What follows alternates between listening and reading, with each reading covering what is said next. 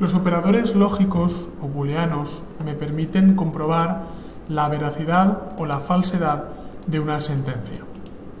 Voy a crear un archivo nuevo llamado lógicos.php. Lo voy a cargar tanto en el editor como en el navegador. lógicos.php. Y en este script lo que haré es definir eh, primero una variable, la variable primera, que será igual a 5. Y la variable segunda,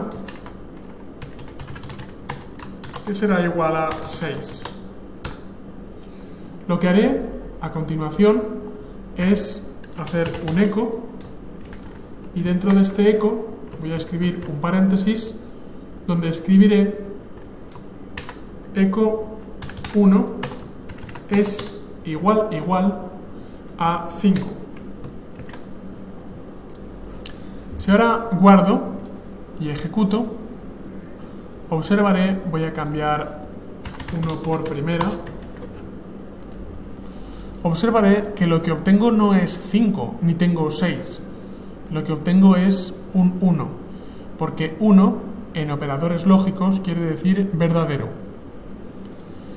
Si esta sentencia, si el resultado de esta sentencia es verdadera, lo que hago es devolver, lo que hago es obtener un número 1 que equivale a verdadero, porque primera efectivamente es igual a 5. Démonos cuenta que lo que estoy haciendo no es poner un igual, sino poner 2. Y con este igual lo que estoy haciendo no es asignar, sino comprobar si eso es verdadero o es falso. Si es falso, si digo que la variable primera es igual igual a 6, cuando realmente es igual igual a 5, es igual a 5, lo que haré al refrescar es obtener nada, obtener 0 en ocasiones o un valor vacío. 0 o un valor vacío equivale a falso, mientras que 1 equivale a verdadero. Vamos a ver ahora cómo podemos evaluar dos valores simultáneamente. Vamos a recuperar estos paréntesis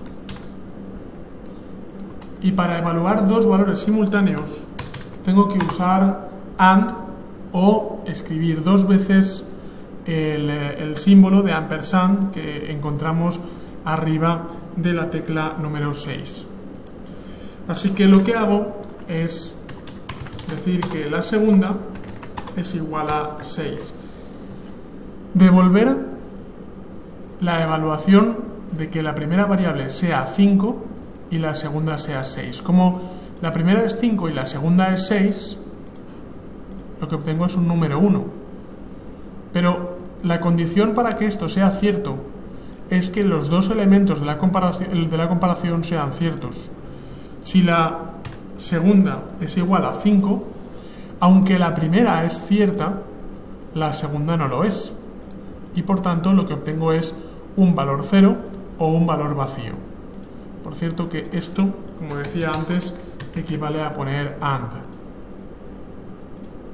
Si ahora pongo 6, ahora vuelvo a tener el número 1. Por tanto, poniendo AND, o poniendo el doble ampersand, lo que hacemos es evaluar la validez de dos o más operadores.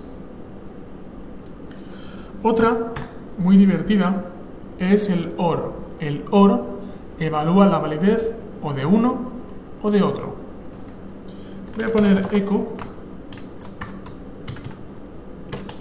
y le voy a decir primera es igual a 5 y el OR se pone con las barras verticales o escribiendo OR y las barras verticales están, se encuentran pulsando la tecla Alt-GR y a continuación dos veces el número 1 del teclado eh, no pad numérico sino el teclado superior numérico. Y le digo hola segunda es igual a 6 punto y coma para finalizar y como puedo comprobar o la primera es verdadera o la segunda es verdadera. En este caso las dos son verdaderas. Si yo pongo segunda es igual a 5, lo que obtengo es otra vez un número 1, es verdadero, porque o la primera es verdadera o la segunda es verdadera. En este caso, la primera es verdadera, por tanto, devuelve número 1. Aunque la segunda no sea verdadera, la primera es verdadera. Y como este símbolo quiere decir OR, o uno u otro, en este caso se cumple que este es verdadero. Es diferente de AND, que nos obliga a que los dos sean verdaderos. Nos obliga a que este sea verdadero y este sea verdadero. El problema, evidentemente, es cuando los dos son falsos. Porque si le digo o este es verdadero o este es verdadero y ninguno de los dos son verdaderos, evidentemente devuelve falso. Y veo que ese segundo carácter, que debería ser 1, ahora aparece como 0. Porque la validación de estas dos ha devuelto falso en los dos lados del OR. Otra también, bastante interesante, voy a devolver esta a 5. Bastante interesante es la negación. Lo que voy a hacer es eco primera es igual a la segunda.